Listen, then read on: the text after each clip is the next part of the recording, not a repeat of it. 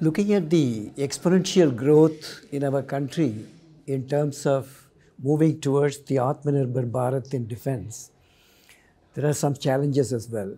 So when we are looking at leadership position in defense domain and making India a defense hub, defense manufacturing hub, you need the human resources, right from conceptualizing the future technologies, design, development, prototype evaluation, testing, certification, and also the manufacturing and after sales support. You need the whole life cycle support from mine to market and then subsequently as well.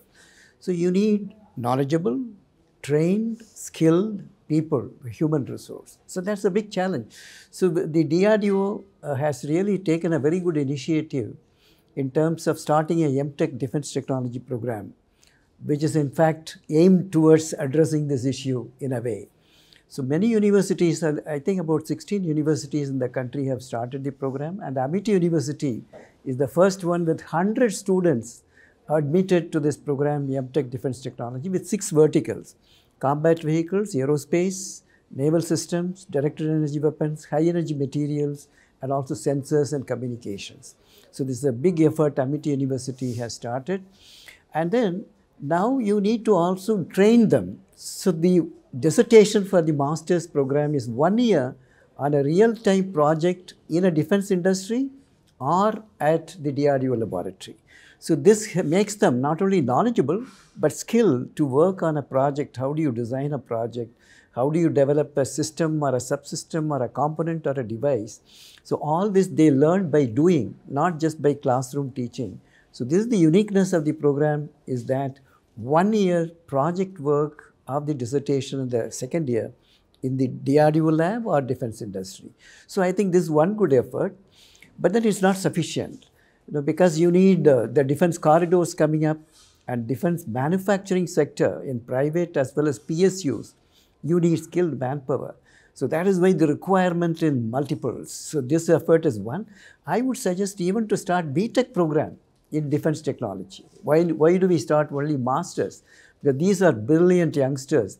You give them the basic, the mechanical, electronic, civil, and uh, the all those emerging technologies, AI, ML, DL, data analytics, and so on, quantum technologies. But then build on a vertical, one of the six vertical which I mentioned, could be aerospace or it could be emerging technologies. So I think that is the way you should build a larger horizontal growth of human resource, starting undergraduate program in defense technology, focusing on aerospace and other areas. So this is, I think, one of the suggestions which I would look at then also make them not just only fill the gap of looking at what is today requirement. Look at futuristic, 10 years hence, what the country will require, the defense sector will require. So somebody should be looking at that future, 10 years, 20 years, then we assume leadership role in defense domain. So that also should happen in the universities. Universities should become the cradle of innovation for defense. That's what I said.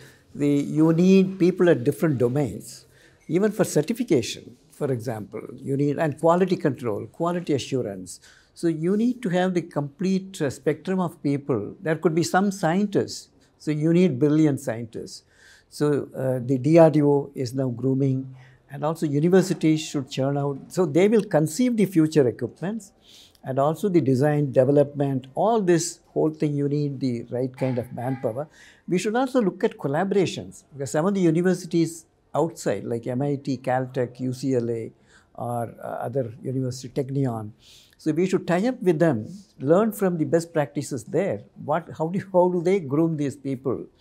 Then I would see the battlefield, emerging battlefield where these people will be employed. People in uniform, people not in uniform but civilians, blending seamlessly as a civil military fusion so you need to groom one side the military people in uniform to use these technologies and the decision support will come from the civilian who could be even a school student coming for hacking a system and he will go back. So you will have such kind of blending of uh, the profile of the armed forces, future armed forces would be that people in uniform and people not in uniform supporting the commanders and the field commanders, giving the decision support using data analytics, AI, ML, DL, all those support will, or the cyberspace, what they need to do, cyber security, all that will come from them, not the people who are in uniform. So this is what I would perceive in the next 10 years. You will have a different kind of armed forces where you require people to do this, the second part, civilians.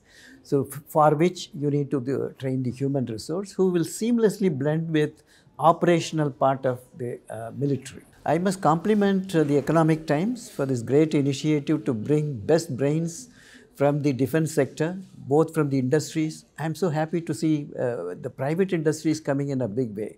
Not only L&T, Tata's, Mahindra, Godrej, Reliance, uh, Paras, and uh, uh, Astra. There are many, many industries coming in.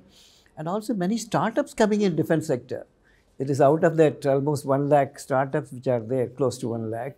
Now, most of them now they are also shifting towards it, seeing the defense corridor coming up and defense investment going up from the major industry. So all this would, would augment uh, the Atmanirbhar Bharat, the efforts of our Honorable Prime Minister, Sri Narendra Modi ji, and also the armed forces now showing a positivity for induction of indigenous systems. So that's a big change, paradigm change.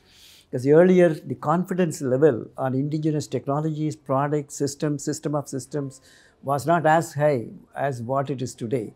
So that is why this change and the industries coming up in a big way from the private sector, not only the big industries, MSMEs, startups. So this is going to be the manufa defense manufacturing hub in over a period of time. I have no doubt about it.